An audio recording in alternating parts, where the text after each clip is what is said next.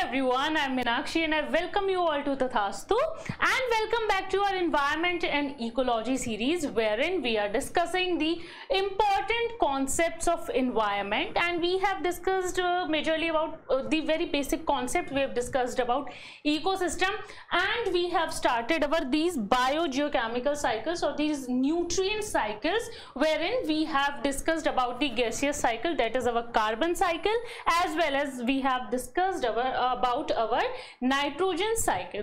So in today's video we will be discussing about sedimentary cycle with special focus on phosphorus cycle. So this phosphorus cycle is part of the sedimentary cycle. So we will be discussing about it. Before that these are the courses which are offered by Tathastu ICS for all of you. There is MSLV it specifically targets your mains examination. Then there is NCERT module you can register for it. Then there is PSLV which will specifically target your prelims examination and it will be launching super soon and then there is philosophy optional. So you can inquire about these courses on these contact numbers. Also you can visit the office on this address and if you have any further doubts you can visit the Tathastu's website also. And I hope you have got the information about the courses. Now let's begin our lecture which is about phosphorus cycle. And as I have said clearly that this is part of our sedimentary cycle. We have discussed the gaseous cycles which are carbon and nitrogen. So today we will be discussing about this phosphorus cycle. So we are discussing about it. That means it is an important component right? It is important for plants and animals alike. See plants need it for their growth for their cell division. It, it helps in this growing the tip of the plant. And if we talk about animals it is uh, important for animals as well because it helps in their bones and muscle growth in improving their metabolism in uh, in improving their uh, this milk productivity. So that means it is important for both of them alike. So we will be discussing about it that how this cycle how this nutrient cycle functions. What is the flow? We have basically discussed uh, when we discussed about this carbon and nitrogen cycle we have discussed how from atmosphere the whole process takes place when we discussed about starting um, if we talk about i hope you have seen those videos so you can better understand this one. When we discussed about carbon when we discussed about nitrogen that how from the atmosphere they are transferred to various organism and then back to the atmosphere again. But now and these were our gaseous cycle. But now here's a twist that this phosphorus is not present in the atmosphere. So how this particular this phosphorus enters this cycle and how the whole process words we are studying about it. So let's start.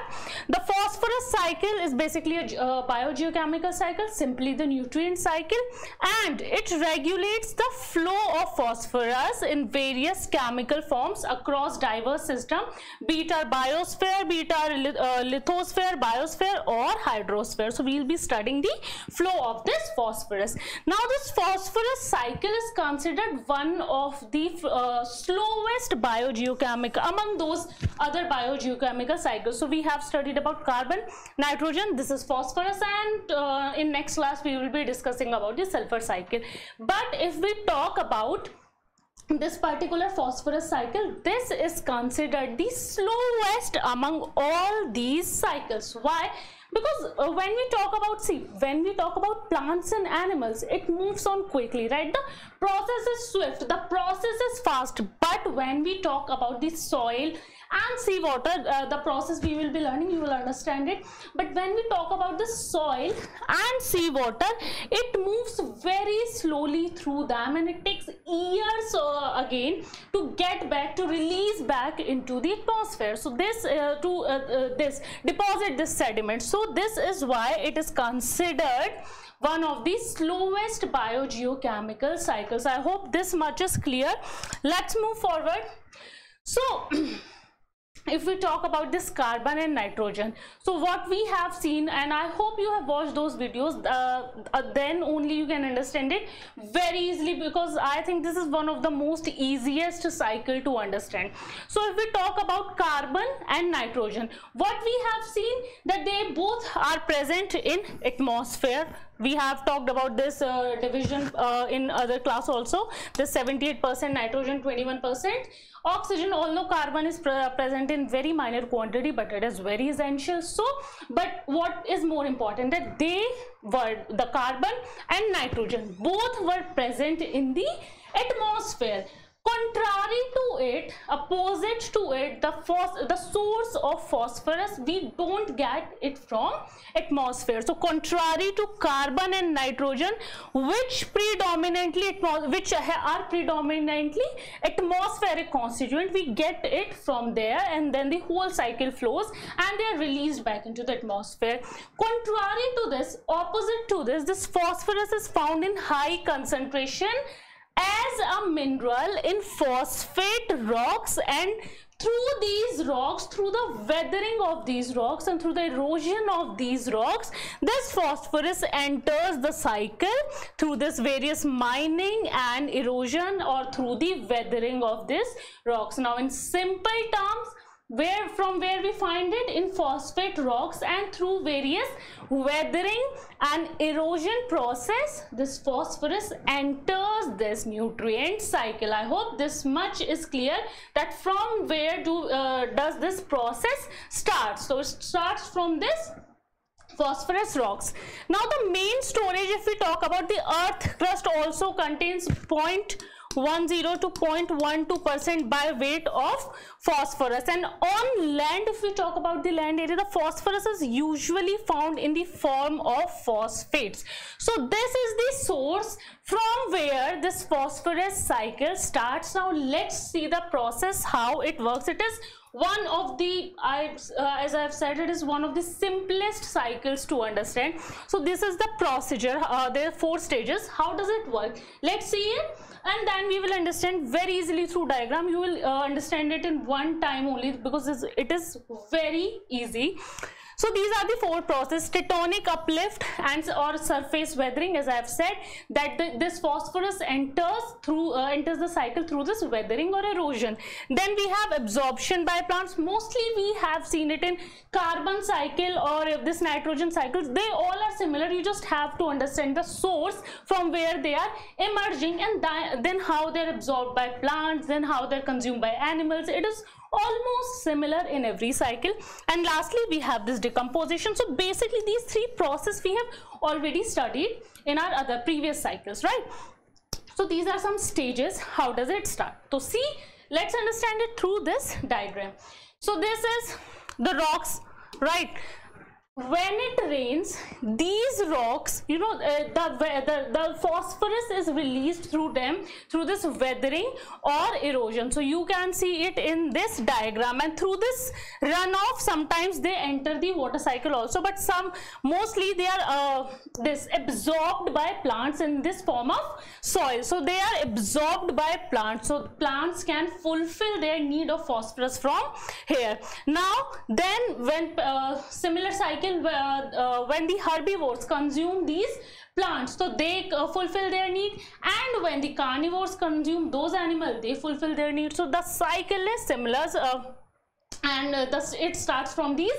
Weathering of rocks especially when it rains it you can see that there is weathering of rocks or erosion. So this is how it enters the cycle. From uh, then it enters to plants from plants it enters to animal or and when they died or decompose. So this particular thing these phosphates are released back into the soil again where also when it rains they are also leached into these water bodies. So they are also present in these uh, uh, oceans or lakes you can say. So they are also leached into these water bodies. And with time this detritus they settle they settle down at the bottom. So they just a minute. So they settle down at the bottom uh, uh, over here. They just settle down over here. Sediments is formed. Then these new rocks are formed. And that what happens?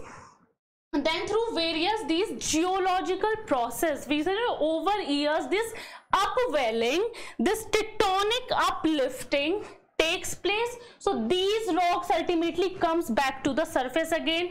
Again the whole cycle uh, follows. It rains or sometimes they are weathered away. They are uh, there's uh, there takes place this erosion. Then it is consumed by certain plants then animals then sometimes uh, then decomposition. Uh, this uh, phosphate is transferred back to the soil. And then sometimes they are leached into these water bodies. They settle down at the bottom.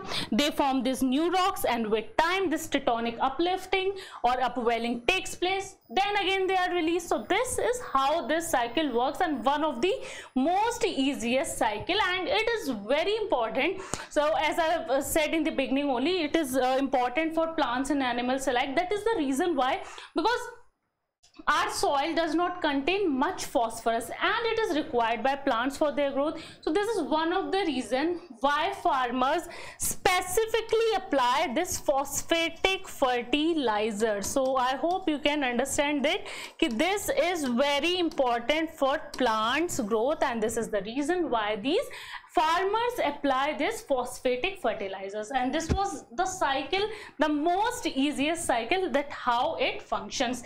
Now let's see a question. There was a question which was asked in your UPSC prelims examination and this is the question.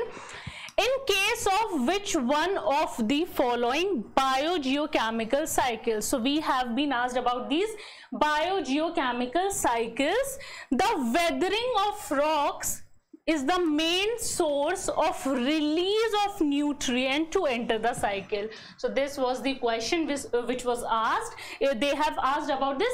Weathering of rocks is the main source. See just now i have said while uh, seeing this this thing that this process is almost same. Just remember the source from where that cycle started. It is most important to remember. So always remember the source in this in these cycles. We'll be doing the sulfur cycle in our next class. Uh, these three we have completed. And from today's class we can solve this question. We can uh, we have got our answer that the uh, main source of release of nutrient to enter the cycle through this weathering of rocks is done in phosphorus cycle.